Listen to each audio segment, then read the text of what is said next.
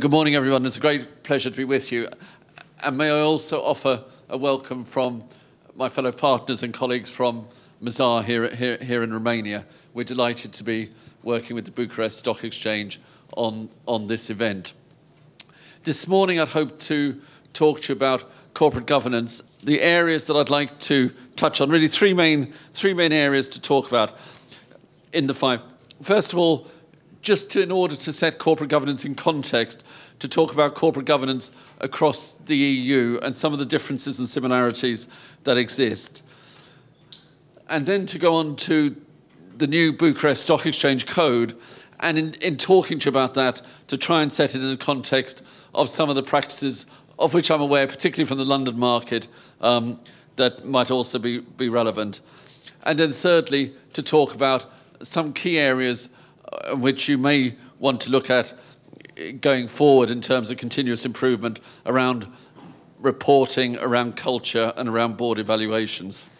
Looking at some of the differences of corporate governance across the EU, and I think the real thing to highlight is that each of our corporate governance systems in our respective countries, each system is unique. It's based on our national cultures, our national laws, and how they've evolved over time. And that's one of the really you know, fascinating things of this topic. But some of the key differences that exist in different countries across the European Union on corporate governance. The first one there is in some countries, in the UK, we very much have unitary boards. In Germany, it's very much two tier boards.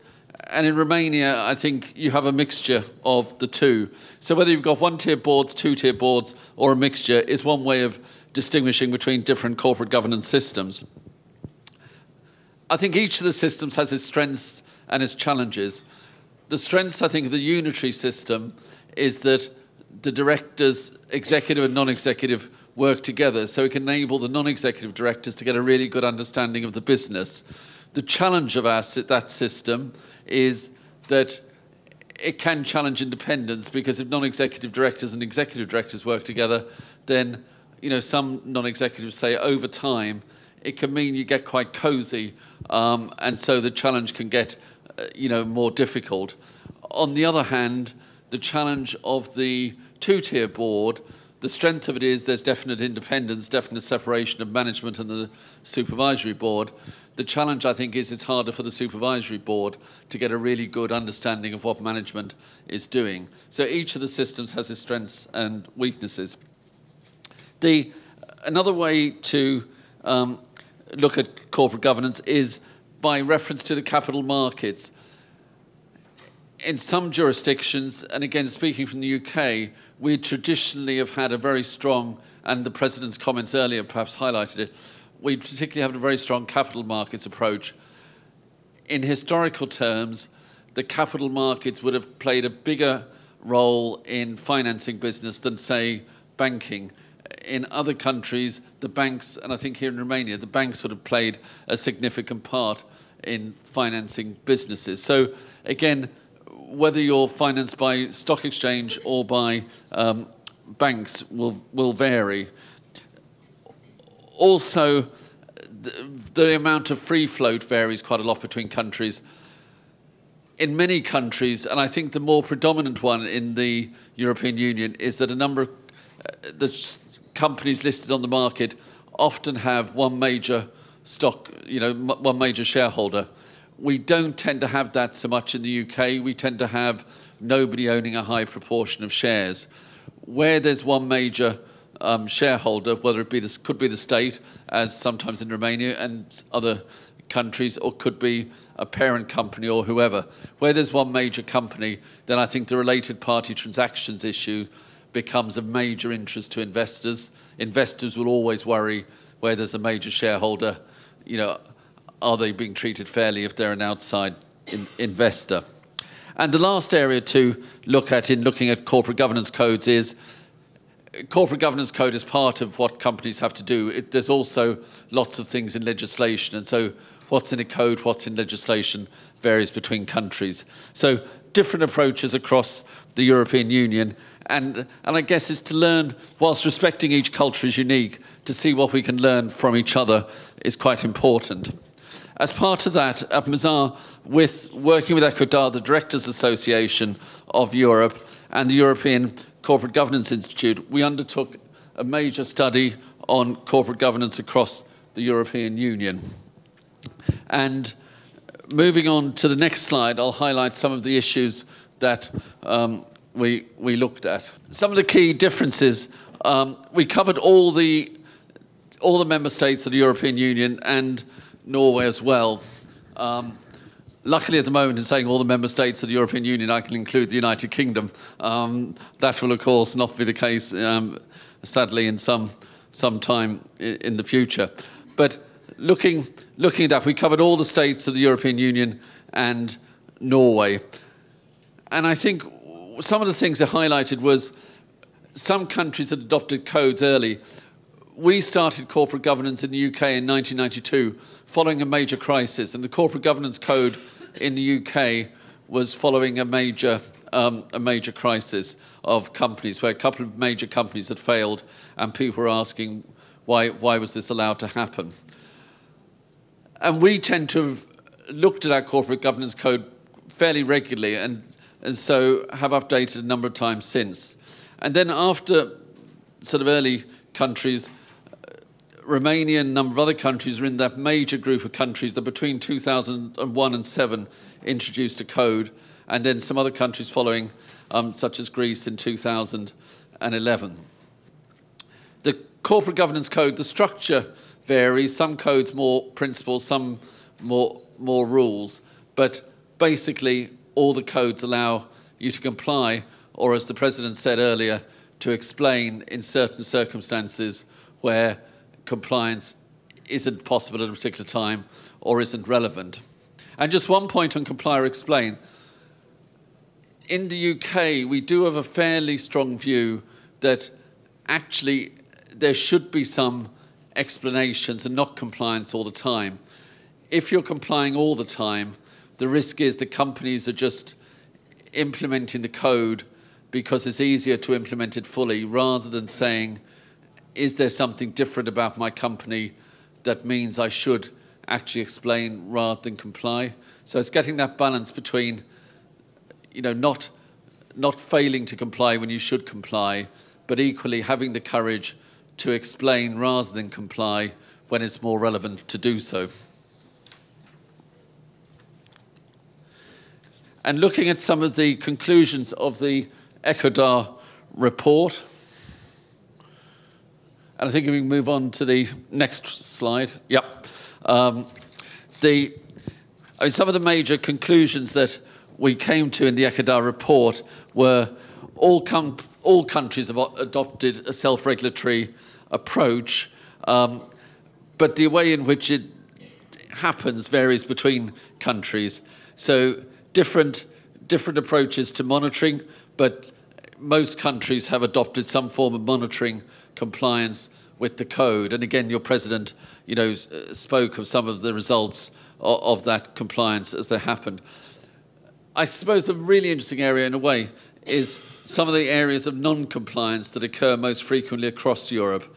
Transparency issues is one of them, and again, the amount of the willingness to disclose area issues around directors' remuneration and things does vary across countries. Some of this will be individual companies. Some of it will more be different approaches perhaps within countries where there's more worry on certain issues. Also, requirements sort of functioning on the board, um, some of the non-disclosures relate to that. And again, interestingly, um, some around that related party transactions and conflicts of interest. So some of those areas relating to transparency, very important to investors and some of the areas in which there doesn't appear to be, um, you know, where there's sometimes compliance rather than um, where there's non-compliance at the moment. So interesting areas to, to look at. Moving on to the uh, to further conclusions that in most um, in most countries, over half of private and public bodies have been involved in the development of the code. So very much trying the code is very much a means of business and the regulators working, working together to get best, best solutions. a variance in how it's done, some more principles based, uh, some more rules based, some a combination of the two. Um, but also on the monitoring side, um, the, the monitoring process checks the analysis of the content of disclosures in 15 countries. The availability of the disclosures um, in five countries was um, given. So in most countries, actually looking at how well companies disclose is what the monitoring does, not just do they disclose. Um, so I think interesting issue for regulators around different approaches to regulation there. I'd now like to move into the core part of the presentation, which really looks at some of the key areas of the Bucharest uh, Stock Exchange. And I think firstly to highlight, as on the next slide, um, the, that I think it's really excellent that the Bucharest Stock Exchange has stressed the aim of the code, the aim to build internationally capital, attractive capital market in Romania and to promote confidence in listed companies by promoting positive development in corporate governance. I think each of the, those first two, trying to promote an internationally attractive capital market in Romania, is clearly a benefit to all existing companies on the market in terms of having a good fair market in their shares and attracting investors and also to new companies listing giving better chance to potential companies listing um, to get a listing at a good, good and fair price. And clearly also to the extent that it promotes confidence in individual companies, it allows those shares to be well traded at the right price. I think the other key note to welcome on the new code is its statement that the role of good governance is to promote good, effective entrepreneurial management that delivers long-term success. And I think two issues there the promotion of long-term success is very important. There's some concern in the UK at the moment um, under the government of Prime Minister Theresa May that we do need to make sure the business is focusing on long-term success and also, and on a serious note, it's felt that one of the um, reasons for Brexit might be that not everyone feels they've benefited in the success of the economy in recent years. And in promoting long-term success in the UK, the Prime Minister is saying we need to promote long-term success and to make sure it benefits all employees in business. So I think that promoting of long-term success, very welcome in the new code. Also, promoting entrepreneurial management. And entrepreneurial management is really about being innovative, looking forward to the future, and balancing that with effective risk management. So that promotion of long-term success in the code, I think, is something for all boards to be very conscious of as they seek to implement the code. And it's easy sometimes to go for quick fixes that'll give short-term results. I think it's much harder to go for an approach that promotes long-term success, but much more valuable um, to all participants. Moving on to the four key areas that the um, the new Bucharest uh, Stock Exchange Code covers. Firstly, the responsibilities of management and of the board, the board's role. Secondly, risk management. Thirdly, the rewards issue, which again the President discussed. And fourthly, building value through investors' relations. And if we will look at briefly each of those now. The new code highlights the responsibilities of the board, and the code sets out your code sets out the principles and provisions. In looking at the general principles, the overarching key features, it covers well a number, a number of areas. If I can try and group some of the areas there, I think it covers how the board should operate in terms of regular, regular board meetings and secrecy of meetings. Um, and regular board meetings would be something that we'd also be stressing in the UK code. And much, actually, there's a great deal of similarity between the Bucharest Code and the UK Code. Um, regular board meetings, important that the board meets enough times during the year such that no major event happens between board meetings that doesn't get discussed by the board. And I think particularly conscious that a number of major companies listed on the Bucharest Stock Exchange or some of the major companies would be banks. Our financial regulator in the UK is particularly keen to make sure that bank boards meet sufficiently regularly so that they're keeping up to touch with all developments. The next area that there be a rigorous appointment for the process for the appointment of new board members. Um, very important to get the right people on the board, to get a balance of mix and personalities. And your code talks about the balanced structure of, of board members. Also important, having got good people on the board in a balanced range, important that they do have enough time and that they're not on too many boards such that they don't have enough time. Again, one thing is often stressed is important that directors have enough time that if there's a crisis on one of their boards, they can give the time to help sort out the crisis. And it's not just that everything's going well, they've got enough time, that they do have enough time to cope with unexpected um, challenges. Following the, following the principles, the provisions then set out some of the detailed requirements that boards should follow. Um, so board of directors, supervisory board should have at least five members. There should be clear terms of reference. Um, and then talking about the importance of independent directors. At least one board member should be independent for standard tier companies and two for premier tier companies. Independence is an area that over the years we've stressed more so in the United Kingdom as the years have gone on. So we now say that for our FTSE 350 companies, the largest listed companies, if you exclude the chairman, half the directors should be independent um, and that the chair should be independent when appointed. Um, and then touching on the related party issue, the board members should disclose any relationship where they've got more than 5% of the shares, and the company should have a policy on board evaluation.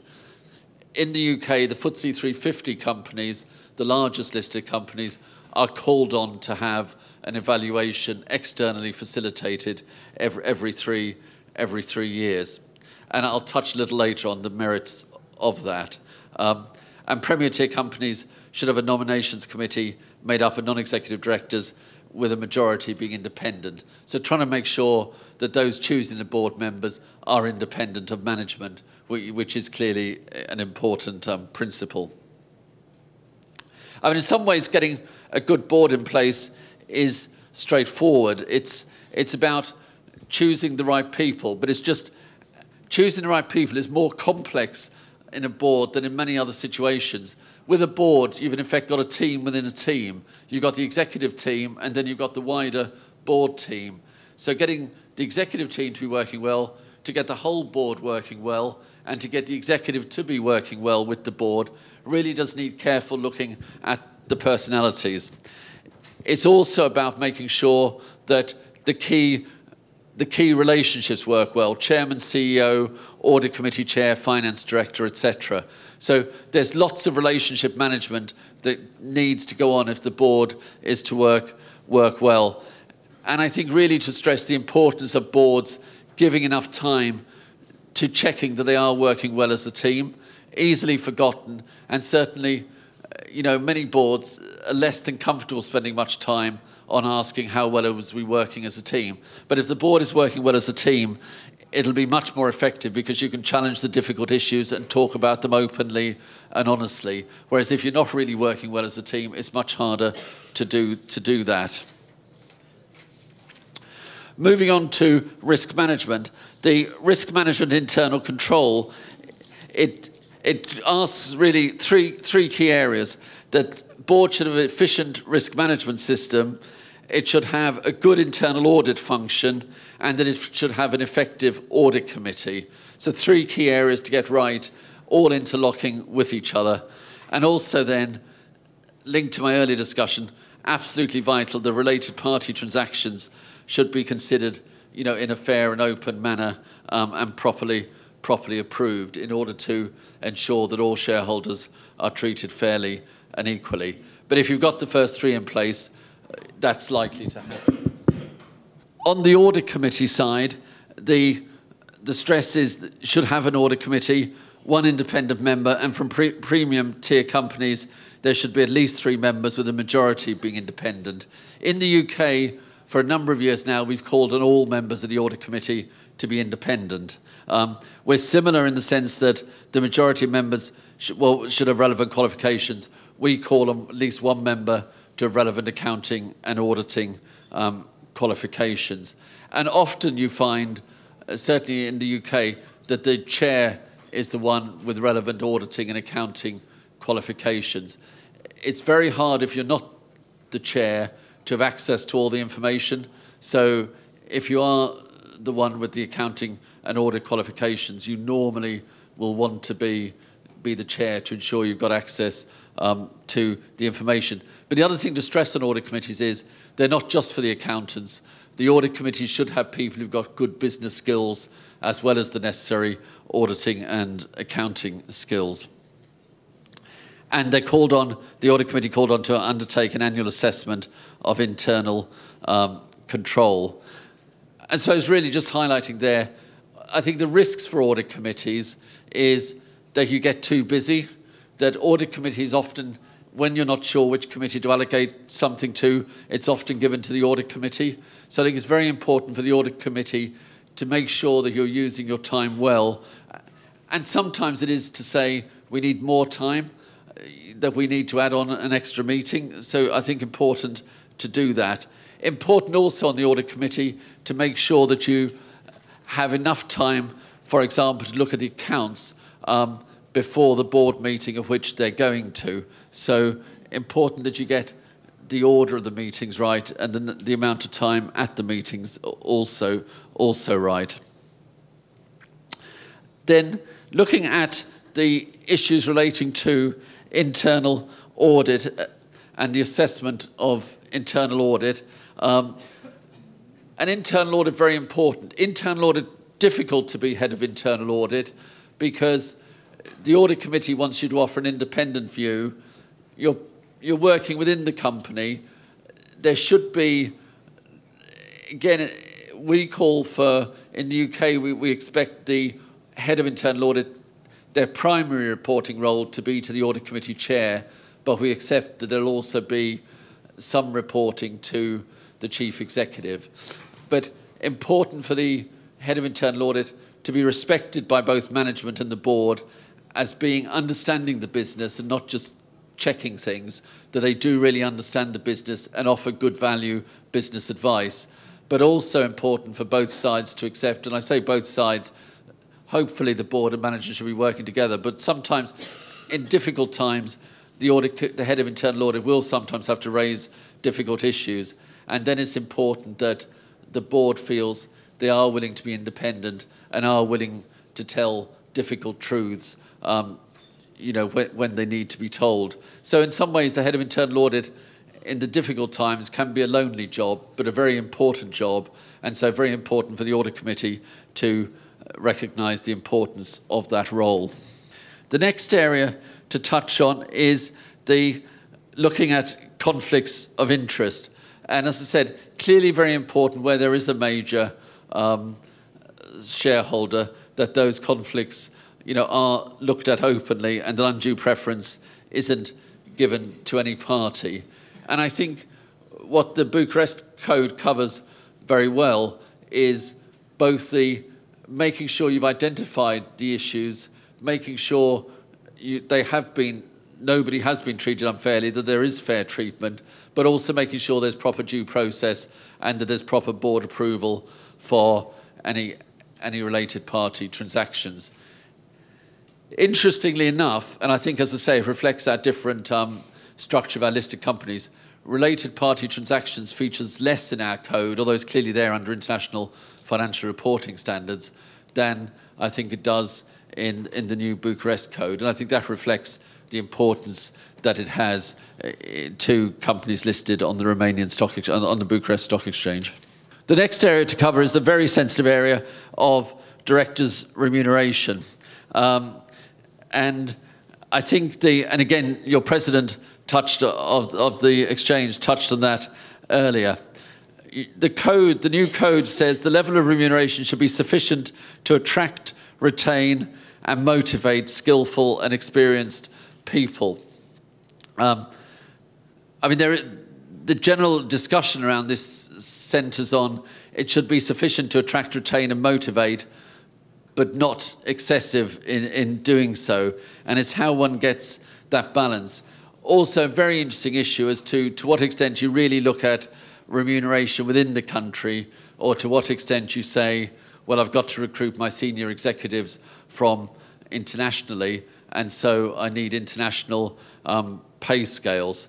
That's been quite a discussion in the UK where some would suggest that sometimes too much emphasis is given to American pay scales in some benchmarking and not enough to to other to other countries in the sense the American pay scales tend to be much higher and those in continental Europe lower than America. And so depending on which countries you look at for international benchmarking will affect the result. So very sensitive in working out how to work out what's the right remuneration. Equally important to make sure that the information, that there's proper sharing of the information of how the remuneration has been calculated and that that's now and that that's available and transparency in remuneration reports. Again, this has been this is probably the key issue on which the, our Prime Minister in Britain is focusing on in saying to business, you have got to change the way you're doing things. The feeling that the remuneration of senior executives has probably um, the worry is that it's got very much out of line in the UK with that of other employees and that the inequality has grown significantly with other employees. So interesting issues, you know, to look at is what is fair remuneration, not just in absolute terms, but what is fair remuneration relative to other employees. And if directors' remuneration has increased quite significantly, is it fair if other employees' remuneration hasn't increased? So that's a very big political issue for business, certainly in the UK at the moment.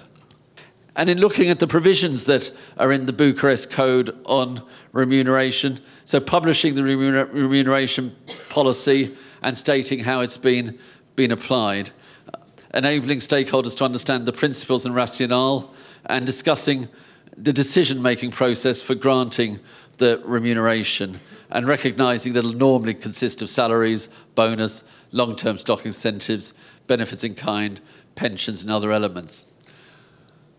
Another key area that got introduced in the UK code some years ago was that when directors leave, um, particularly if there's been failure in the business, there shouldn't be over generous leaving packages.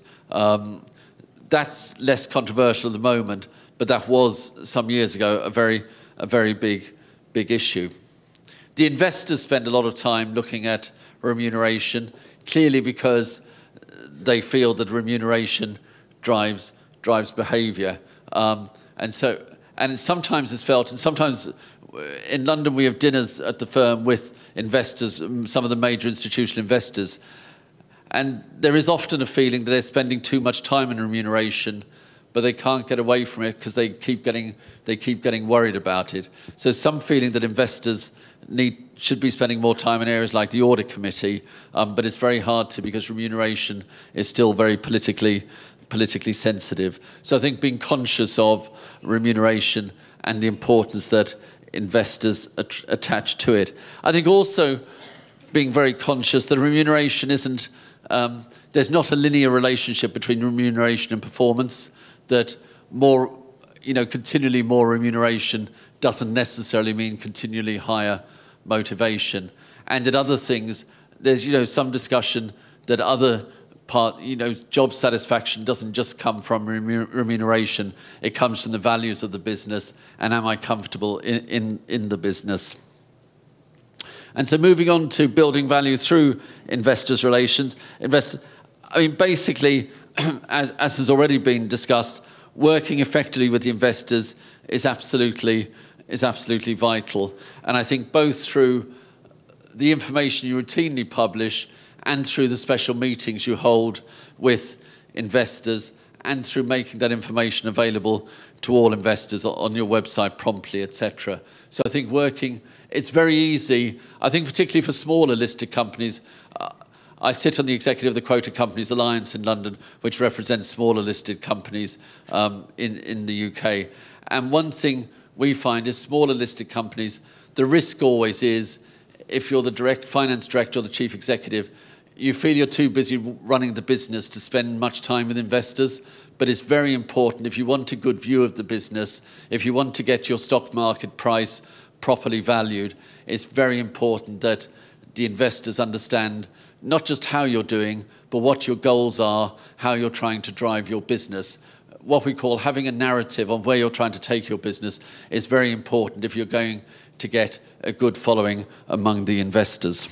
And in addition to the, to the principles, the new code sets out some very helpful guides on what should be included um, on, you know, on the website to help ensure investors have good information. So CVs of members of the governing bodies. And I think importantly to make sure those CVs are lively and actually do include relevant business experience, not just necessarily current business experience, but uh, you know some other business experience and business experience you know that the director may have with other companies as well as as well as with your own. Um, in terms of filing information, some discussion at the moment on should there be quarterly reports. Some feeling the quarterly reports stops focusing on long-term success and makes too much focus on short-term success. But as well as the actual annual reports, the statutory information, as one might say, important corporate presentations are on, are on the website. And details of the cash distribution um, and the dividend policy. Um, and that's been a controversial issue in the UK with, uh, I sit on the regulated Financial Reporting Council. We've got a, a financial reporting lab, which is an innovative part of the regulator, which looks at voluntary disclosures, and we've recently come out with a requirement or with an expectation, suggested, not a requirement, to companies that they should disclose their, their dividend policy. And also policy on forecasts, important to, to disclose. So just in the last section, just looking at a few ideas on how to improve effectiveness and board board evaluations, as, as I said, just looking here at board evaluations, where in the UK, the companies are expected, the largest companies, listed companies, are expected to have an externally facilitated board evaluation. Um, you can do a very thorough internal board evaluation. I think the benefit of an external board evaluation periodically is that it allows you to get an outside view and just sometimes I've found when doing, as I look after our board practice in the UK, I've just found sometimes when doing it that an issue that all the directors know is there. Most of these sort of metaphors don't translate entirely. We call it the elephant in the room um, in English. Sometimes there'll be an elephant in the room that everyone knows about, but nobody's speaking about. And sometimes having an outsider in can just make sure that that issue that's stopping the board being wholly effective um, gets, gets, dis gets discussed. Um, in looking at board evaluations, many, companies are expected to report in the UK on how they've done the evaluation, but many also report on some of the results. The results that you often find coming out from the evaluations when they're externally done is board wanting to spend more time on strategic issues. Boards always worry that they spend all their time on day-to-day -day issues and not enough time on the longer-term strategic issues. Um, another issue comes out very regularly is boards wanting to spend more time on succession planning. Particularly, I mean, clearly succession planning is how should I replace a board member if they, you know, suddenly taken ill. But equally, the long term, making sure that if I've got a good board in place, that I keep it in place.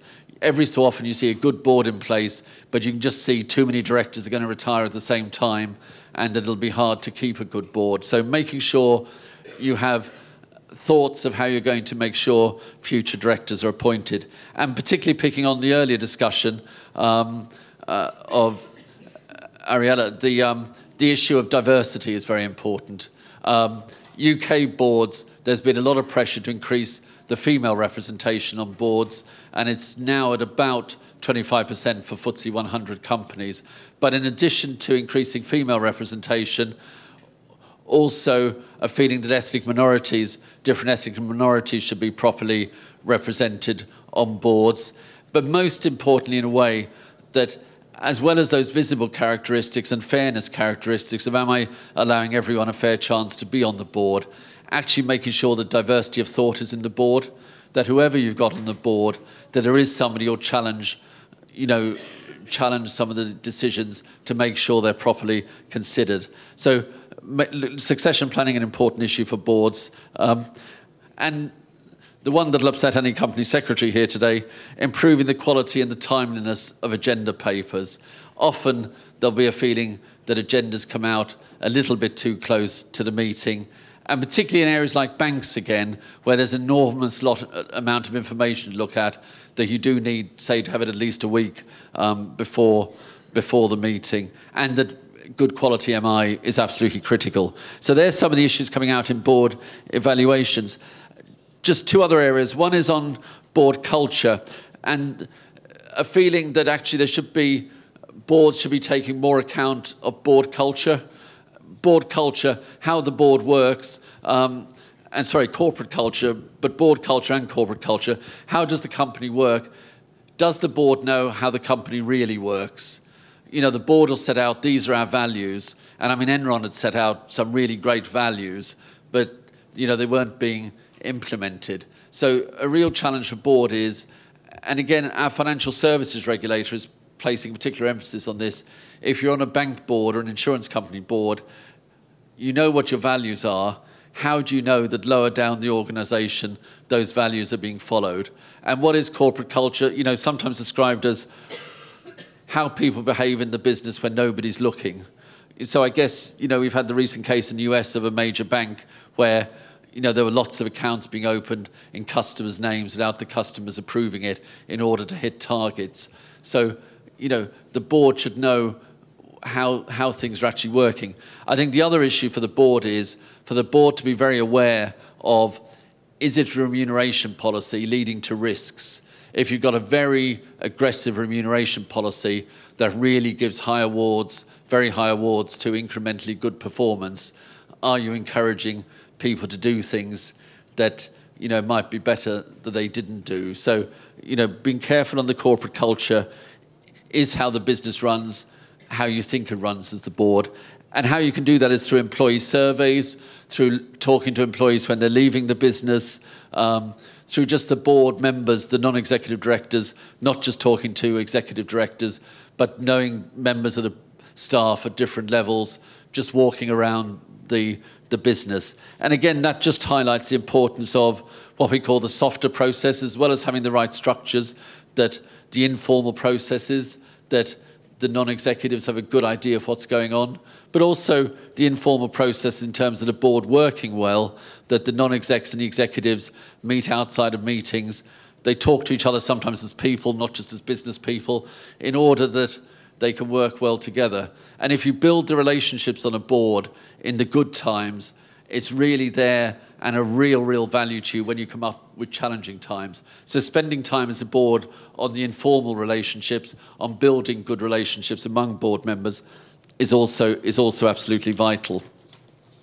And my last area is just on corporate reporting, um, which I guess you could say is the shop window of the company, but making sure that it's fair, balanced, and understandable is very important. You know, does your annual report talk about the challenges you've had. By all means, talk about how you've tried to address the challenges and work with them. But it, if it just contains the good news, people don't tend um, to, to believe it very much. I mean, often you find, I think particularly with, um, you know, reports on, from travel agents, you know, on how to visit a particular resort or go to a particular hotel, if they only give you the good news, it doesn't really impress you. Um, so you tend to want to hear a balanced, a balanced view of a business. So does the annual report give a balanced view? Also, does it talk about the important issues? It is the financial statements, but not only the financial statements. Narrative reporting is much, much more important now. Many more businesses, their values are in their people or in their intangible assets, and they're often not in the financial statements.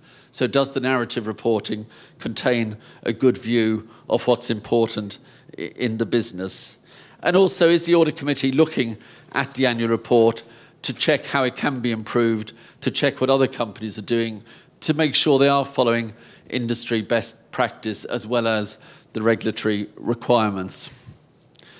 And so just to my final slide, I think, if I've got it, um, if it's right, we seem to be a couple behind there. Yeah, the, the final slide, really just to come back to an earlier comment, at its heart, running a board is very simple. It's getting the right people on the board and then making sure the board works effectively. But the real challenge is that people are involved and we all have our feelings and our ways of doing things and different experiences. So it really is, if you're going to have the right board in place and working well, it really needs constant working at and constant asking the question, how can we get better? But it really is worth the effort because the tone from the top is really vital to the business and the tone from the top seeps all the way down to everything else the business does. So really, it's been a pleasure speaking with you this morning and good luck as you continue to implement the code and to building internationally world-class boards in Romania. Thanks very much.